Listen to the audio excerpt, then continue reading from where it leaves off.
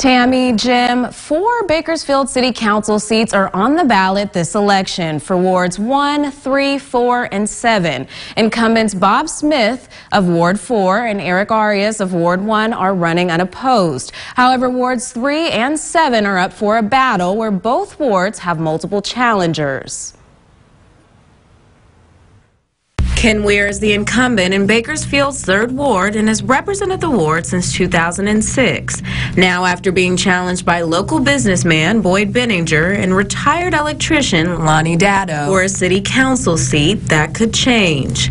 In these city council elections, crime and homelessness has been a big discussion amongst the candidates, and each candidate of Ward 3 says crime is a priority. Crime is rampant all over this community. It's no different in Northeast Bakersfield and in parts of the ward that I just inherited in the Westchester area and around there, the crime is really bad. So we've got to come up with a formula or a plan that we can address that and take this this scourge off of our plates. There's a lot of issues with, with speeding, uh, street racing. Uh, there's also an issue at a couple of areas uh, up near uh, Mallview Road where ingress and egress, the access in is, is, is dangerous.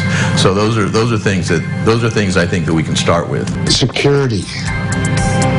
I was up there for five days. I never saw a police car.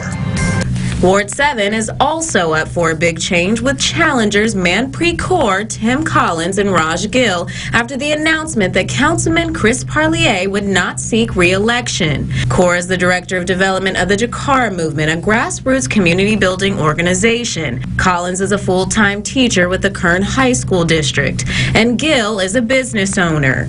Last week, the candidates faced off in a debate here at 17 News and discussed crime, and each had their own way of tackling the issue. We have to have a strong police force. We have to have a strong police uh, management on it too.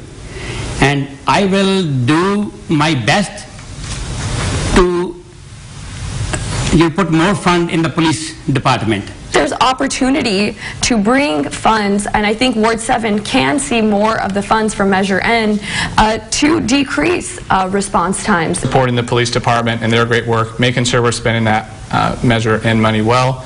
But what I think really needs to happen that I want to work on is working uh, well and effectively with all the other departments here. As the hours wind down towards the end of election night, unopposed candidates Bob Smith and Eric Arias will take victory into the next term. However, the races for wards 3 and 7 are still the ones to watch.